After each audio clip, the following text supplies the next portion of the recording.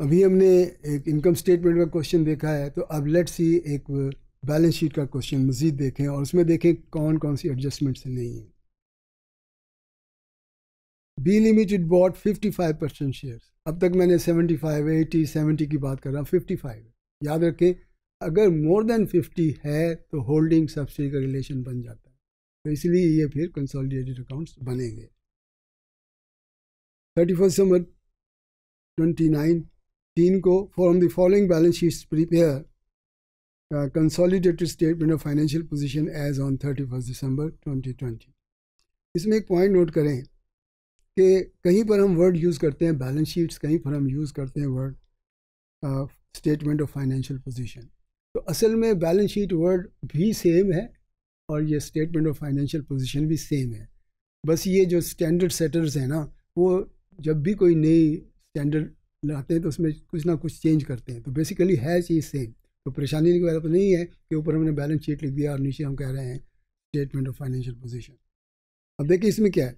Investment की आपने S में सब्सिडरी में फोर एट फाइव ज़ीरो की और प्रॉपर्टी प्लांट एंड इक्विपमेंट ये नॉन करंट एसेट्स आपके और करंट एसेट्स और total again thirty one thousand five hundred seven thousand seven hundred share capital में thirty thousand five thousand profit on thirty first December nine hundred and two thousand two hundred and profit for twenty twenty note करें यहाँ पर भी।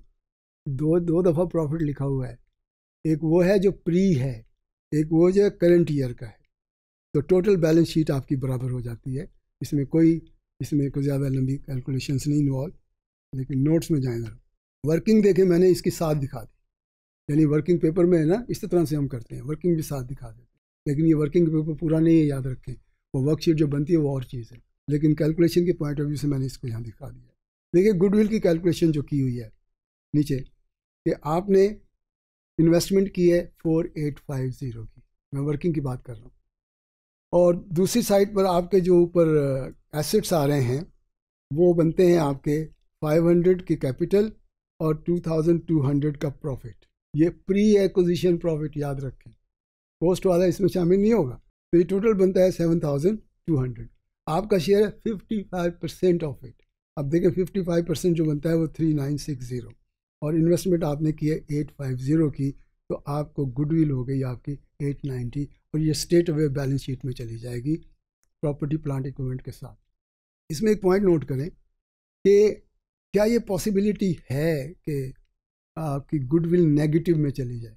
यानी बजाय इसके कि आपके नेट एसेट जो ख़रीदे हैं, वो ज़्यादा हो जाएँ और जो पेमेंट आपने की है वो कम हो जाए तो इन दैट केस ये बन जाएगी एक नेगेटिव गुडविल। और नेगेटिव गुडविल के बारे में मैंने डिस्कस किया, कर चुका हूँ आपके साथ कि इसके बारे में फिर हमें ये देखना पड़ता है कि हमने जो कैलकुलेशंस की हैं या जो हमने जो फेयर वैल्यूज़ ली हैं एसेट्स की, वो सही ली है कि नहीं? वो रिपीट करनी पड़ेगी वो एक्सरसाइज। और अगर आप समझते हैं कि जी आपने एक बारगेन परचेज़ की है तो okay then take it to the आप अपने ले जाएँ, अपनी बैलेंस शीट में ले जाएँ इसको। यानी एक जो चेंज इन इक्विटी स्टेटमेंट है, उसमें आप ओसीआई के नाम से इसको डाल दें और वहाँ रखें इसको। ये पॉसिबिलिटी है। टोटल नेट एसेट्स आपके आ जाएँगे। तो करंट अकाउंट्स जो हैं, उसमें सिंपल आपने ऐड किया। और इस तरह से शेयर कैपिटल आपकी कंपनी का और एनआईसी की कैलकुलेशन वाला नीचे देख लें। टोटल नेट एसेट्स वो जो आपने ऊपर निकाले हुए हैं, उसमें देखें, फिर रिपीट कर रहा हूँ कि इसमें आपने प्री और पोस्ट का कॉन्सेप्ट नहीं लेना। इसमें आपने share capital current year profit और लास्ट ईयर प्रॉफिट जो भी बचे हुए हैं, सब ले लेने तो टोटल बनता है आपका सात हज़ार सात सौ, मेरे सात हज़ार दो सौ तो पाँच सौ जो पिछला है, वो भी आ जाएगा इसमें। तो टोटल आपका सात हज़ार सात सौ का प्रॉफिट और इसमें फोर्टी फाइव परसेंट क्योंकि फिफ्टी फाइव परसेंट है आपका तो इसमें आपको फोर्टी फाइव परसेंट लेना पड़ेगा। तो एन आई आ जाएगी आपकी थ्री फोर सिक्स फाइव और टोटल प्रॉफिट्स जो है आपके वो ऐड ऑन होके तो ये बन जाएगा थर्टी फाइव टू फोर्टी यानी टोटल आपका फिगर बन जाएगी. तो प्रॉफिट की फिगर की भी कैलकुलेशन दी हुई है इसने ग्रुप प्रॉफिट की, कि आपका प्रॉफिट और प्लस उसके प्रॉफिट का fifty five percent two seventy five one one seven five तो ये वर्किंग छोटा सवाल था, इसलिए तीनों की वर्किंग साथ मैंने दिखा दी है. तो आपके एसेट्स और लाइबिलिटीज़ का टोटल बैलेंस हो जाता है.